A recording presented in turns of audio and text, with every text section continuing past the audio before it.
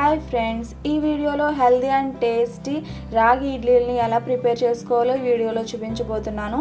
ఈ రాగి ఇడ్లీలు చాలా చాలా హెల్దీ అండి. పిల్లలకైనా షుగర్ పేషెంట్స్కైనా కూడా చాలా చాలా హెల్దీ బ్రేక్ఫాస్ట్ అనమాట ఈ రాగి ఇడ్లీలు చూడడానికి ఇలా ఉంటాయి కానీ టేస్ట్ చాలా చాలా బాగుంటాయి. మీకు నార్మల్ ఇడ్లీలు ఎలా అయితే టేస్ట్ ఉంటుందో సేమ్ అలానే ఉంటాయి అన్నమాట. ఇవి చూడడానికి మాత్రమే ఇలా ఉంటాయి.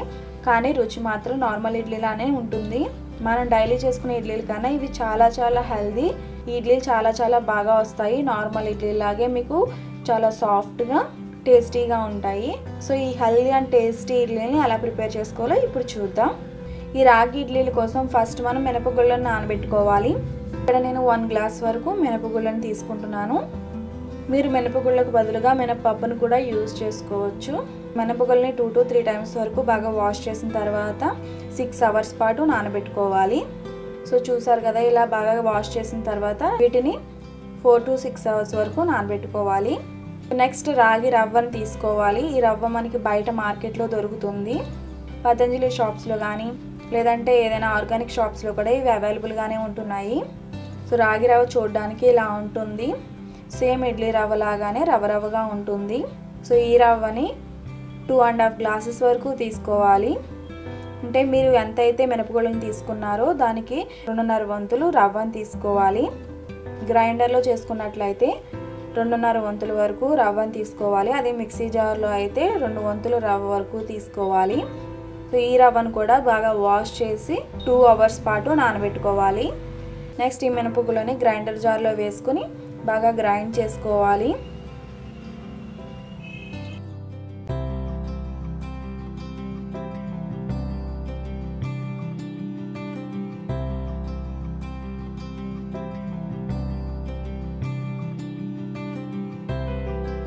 ఇలా గ్రైండర్లో వేసుకుని ఇడ్లీ పిండిలాగా మెత్తగా గ్రైండ్ చేసుకోవాలి.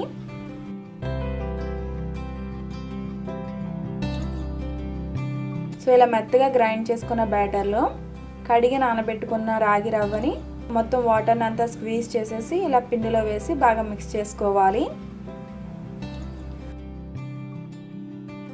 సో ఇలా బాగా మిక్స్ చేసుకున్న పిండిని టెన్ టు ట్వెల్వ్ అవర్స్ వరకు ఫర్మెంటేషన్కి అలా రూమ్ టెంపరేచర్లో ఉంచేసేయాలి.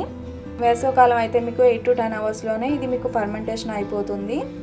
మీకు ఇలా టెన్ అవర్స్ తర్వాత ఇది బాగా ఫర్మెంటేషన్ అయిపోయి ఉంటుంది.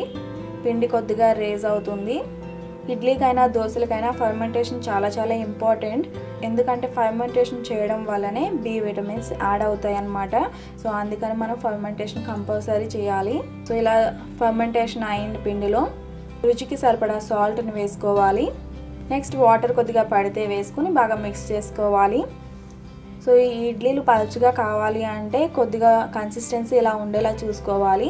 లేదా ఇడ్లీలు కొద్దిగా మందంగా లావుగా రావాలి అనుకుంటే బ్యాటర్ కొంచెం థిక్గా ఉండేలా చూసుకోవాలి. రాగులు హెల్త్కి చాలా చాలా మంచిది. ఇందులో ఐరన్ కాల్షియం చాలా ఎక్కువగా ఉంటాయి. ఈ రాగులతో ఎక్కువ జావ చేసుకుంటూ ఉంటారు. జావ కాకుండా ఇలా అప్పుడప్పుడు ఇడ్లీని కూడా చేసుకుంటే హెల్త్కి కూడా చాలా చాలా మంచిది అనమాట ఇడ్లీ రేకుల్లో ఇలా బ్యాటర్ని వేసిన తర్వాత ఇడ్లీ పాత్రలో పెట్టి ఫిఫ్టీన్ టు ట్వంటీ మినిట్స్ వరకు మీడియం ఫ్లేమ్లో కుక్ చేసుకోవాలి. మీడియం ఫ్లేమ్లో ఫిఫ్టీన్ టు ట్వంటీ మినిట్స్ లోపు మీకు ఈ ఇడ్లీలు ప్రిపేర్ అయిపోతాయి.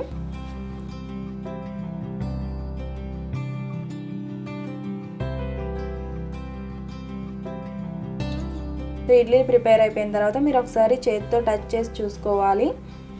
చేతితో టచ్ చేసుకుని మీకు ఇడ్లీలు చేతికి అంటుకోకపోతే ఇవి ప్రిపేర్ అయిపోయినట్లే.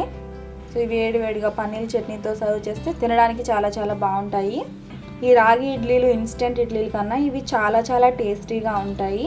ఈ రెసిపీని మీరు తప్పకుండా ట్రై చేసి మీ ఫీడ్బ్యాక్ని నాకు ఈ వీడియో కింద కామెంట్ సెక్షన్లో తెలియజేయండి ఈ రెసిపీ మీకు నచ్చితే తప్పకుండా లైక్ చేసి ఈ రెసిపీని మీ ఫ్రెండ్స్ అండ్ ఫ్యామిలీస్కి తప్పకుండా షేర్ చేయండి. మరిన్ని రెసిపీస్ కోసం నా ఛానల్ సబ్స్క్రైబ్ చేయండి. అలాగే తర్వాత వచ్చే బెల్ ఐకాన్ కూడా క్లిక్ చేయండి. Thanks for watching.